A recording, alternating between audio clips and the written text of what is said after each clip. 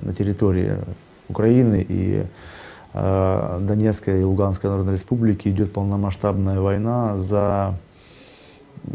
Сражаются это славяне друг с другом. Тут нет межнационального конфликта. Здесь идет столкновение двух миров. Западного и славянского мира.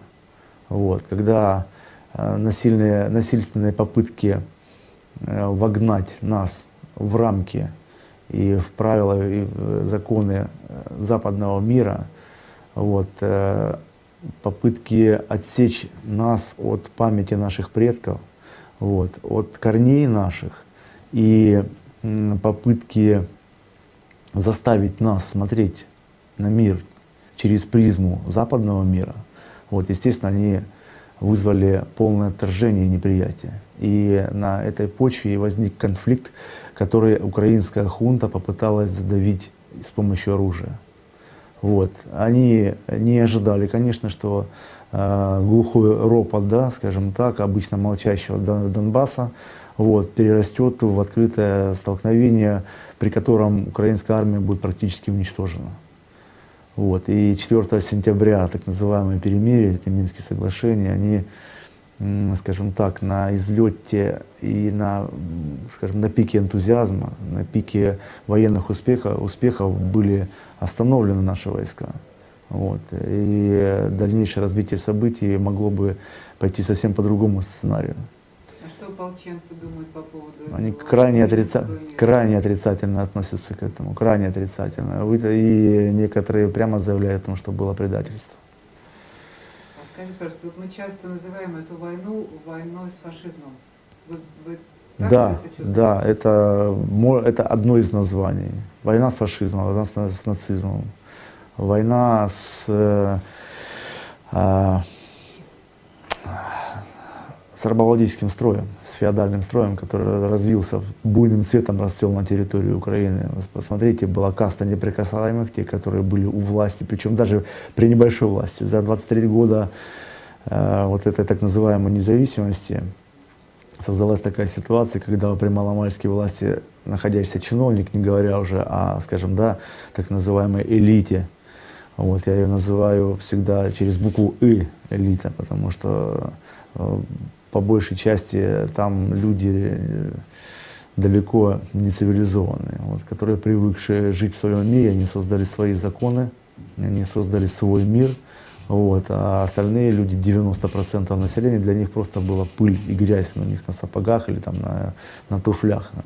Мнение народа абсолютно не учитывалось, людьми манипулировали, э, проводились прекрасные эксперименты по манипулированию общественным сознанием, которое привело к тому, что сейчас на данный момент 70% населения Украины, вопреки очевидным фактам, вопреки действительно очевидным фактам, они верят в том, что на территории э, Луганской Народной Республики э, присутствуют российские войска, какие-то там спецназовцы, там, вот, какие-то там непонятные люди, э, то, что там происходит, там, Э, поголовное там, изнасилование, убийство, издевательство над мирным народом, там, поедание младенцев, ну, в общем, вся Мы же знаем, что примерно такая картина происходит там, где стоят войска Украины.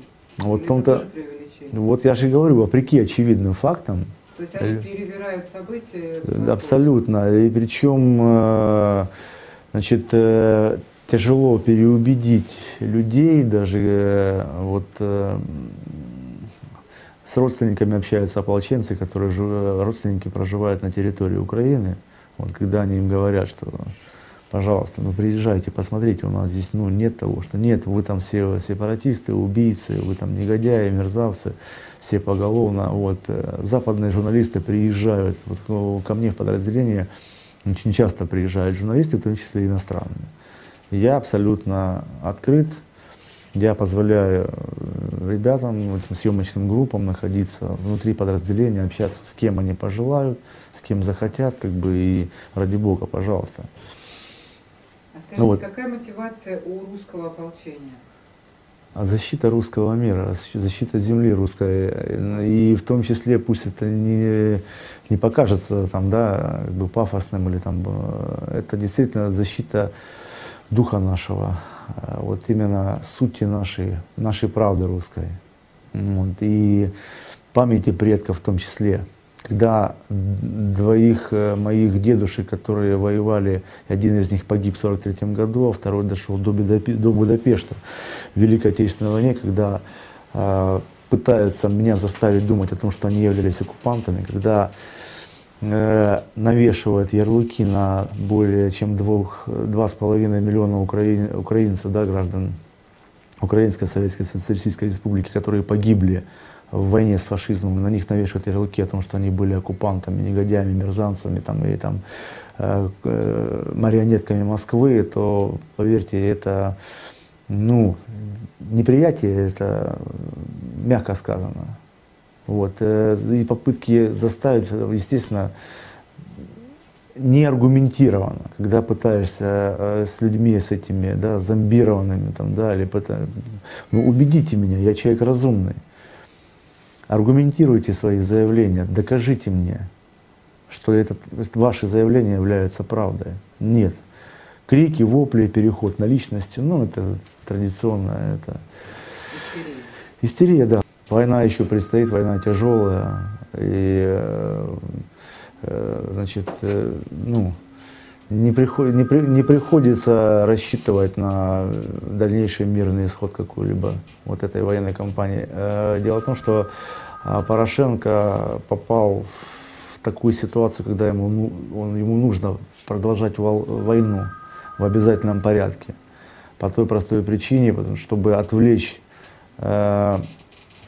массы людей, э, граждан, граждан Украины, вот, от тех проблем, э, от тех серьезных проблем, и в том числе в экономической сфере, в экономической сфере, которая сейчас возникли в связи с войной, э, опять же, вот этой дикой истерии, русофобии, вот, э, позиции украинских властей на зломами отморожу уши, да, а у них вот это вот, скажем так, голова забита всем этим мусором о том, что здесь русские, российские войска, вот, о том, что здесь творится полное вакханалия беззакония, вот, э, о том, что здесь настоящие террористы, которые отрезают головы младенцев, потом жарят их на завтрак, обед и ужин и едят.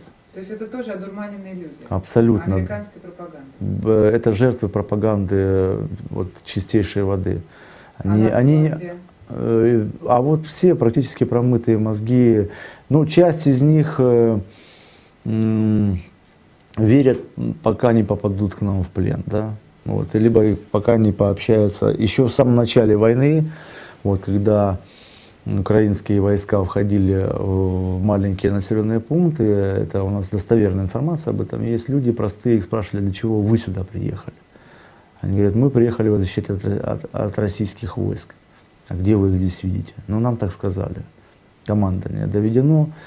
Причем, э, значит, э, по большей степени украинские, в украинских войсках э, сами подразделения отрезаны от внешнего мира.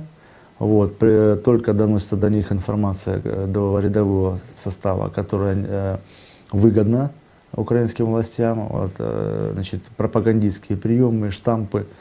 Вот, вот это вот все муссируется, это все вкладывается в голову, и вот мотивация. Денежной мотивации там нет. Вот, Национальная гвардия, это э, нагнали туда по мобилизации. Вот еще одно как бы нарушение, кстати, мобилизация по законам объявляется э, при введении военного положения или введении актив, ну, войны настоящей. Но Украина ни с кем не находится в состоянии войны, военное положение не объявлено, нарушение, прямое нарушение закона о объявлении мобилизации, так называемой. А мобилизуются э, туда люди под разными э, предлогами и зачастую эти насильственного характера, как бы, ну, то есть э, говорится о том, что либо ты идешь в тюрьму, либо ты идешь в Нацгвардию. Да? Либо, вот я беседовал с одним из пленных, э, Валерий Халаринец, у него фамилия такая, вот, он из Ровенской области, по-моему, водитель БМП, который вот остался в живых и был пленен э, в боях под э, населенным пунктом Смелое. Вот мы с ним беседовали, у него мотивация была такая. Пришел представитель военкомата с сотрудником милиции и сказали, тебе нужно идти в армию. Он говорит, я не пойду. Он говорит, ну, значит, тогда ты сядешь в тюрьму, а мы создадим здесь на месте такие условия, что ни твои родственники, ни твоя жена не смогут устроиться на работу. И твои два сына, одному, по-моему, 9, второму 12 или 13 лет, вот, они просто умрут с голоду. Один из пленных, который был, находился у меня, вот, он говорил, что он скрывался на Майдане, совершил тяжкое преступление, разбой, по-моему, или грабеж, ну что-то типа такого. Вот, скрывался на Майдане, но на него вышли, вот, и сказали, хочешь, не будет никакого уголовного преследования, то есть спишем эту статью. Естественно, захотел. Ну, иди добровольцем в Айдар.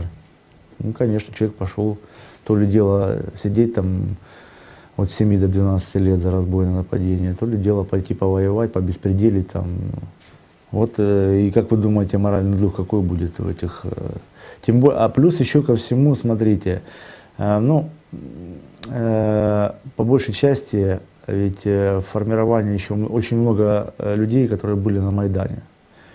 То есть ситуация, когда тоже наиболее пассионарная часть населения, которая участвовала в активных этих протестных этих, и а попросту были, были использованы для совершения государственного переворота в Украине в ноябре-феврале месяце.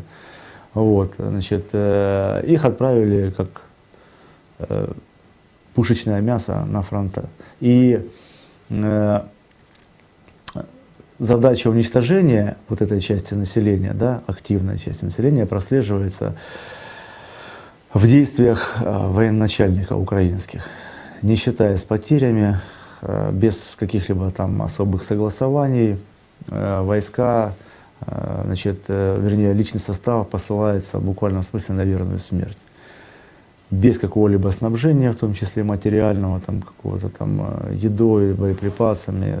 32-й блокпост знаменитый, ставший знаменитым в последнее время, типичное тому подтверждение, когда украинские военнослужащие пили воду из луж, потому что снабжения никакого не было.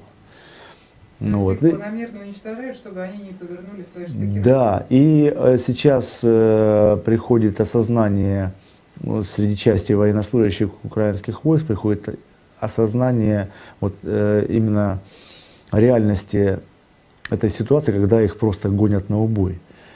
Вот, они понимают, что их обманули на Майдане, потому что на манеже все те же остались, вот, произошло переформатирование Верховной Рады, э, все те же лица. Вот, люди понимают, что их обманули, люди понимают, что их погнали на убой. Вот, естественно, они хотят разобраться с этим, но попав на фронт, значит, э, естественно, они скованы по рукам и ногам, э, значит, правила там, устава, там, значит, дезертирство нарастает. А те непокорные части, которые хотят э, э, повернуть свое оружие, пойти разобраться с э, олигархами в Киев, вот, они уничтожаются карательными батальонами.